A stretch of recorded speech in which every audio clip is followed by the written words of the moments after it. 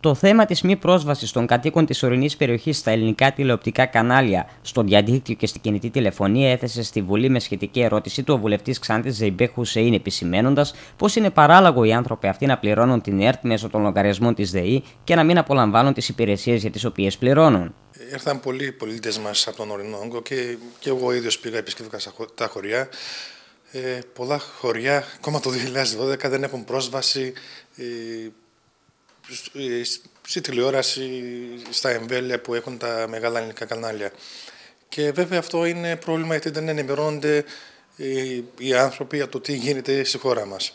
Ε, και ζητούμε βέβαια, ε, και το παράλογο είναι ότι ενώ η ΕΡΤ παίρνει συνδροπή μέσω, μέσω των λογαριασμών της ΔΕΗ και δεν παράγει την υπηρεσία που πληρώνεται. Ε, πιστεύω ότι άμεσα πρέπει να λυθεί αυτό το πρόβλημα. Εκτός από την τηλεόραση είναι και το πρόβλημα και της κινητής τηλεφωνίας και του διαδικτύου.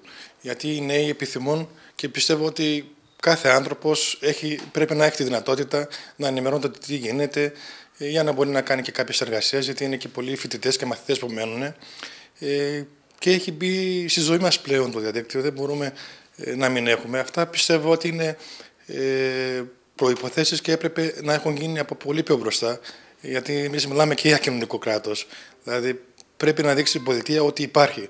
Δυστυχώς, βέβαια δεν είναι από ό,τι έχω ακούσει και σε άλλες περιοχές και στην Κιώνα με είπαν ότι είχαν πρόβλημα με την τηλεόραση. Αλλά ειδικά το μεγαλύτερο πρόβλημα αντιμετωπίζεται στο βουνό.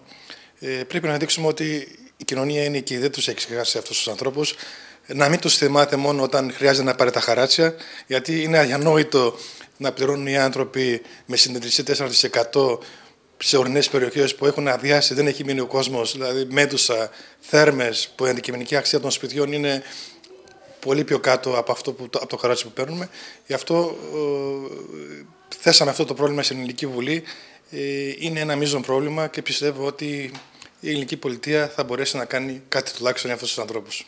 Μεγάλα χωριά, σαν το Κένταυρο, ε, σαν την Πάχνη, Κοτήλη, οι θέρμες δεν έχουν πρόσβαση στα ελληνικά κανάλια. Είναι, δηλαδή, πιστεύω είναι τρομερό. Ε, να μην μπορείς να έχεις πρόσβαση και να μην ακούς ακόμα και τις ειδήσεις. Ε, γι' αυτό πιστεύω αν το, αν το δούμε λίγο πιο διαφορετικά μπορούμε με ελάχιστο κόστος ε, να το λύσουμε.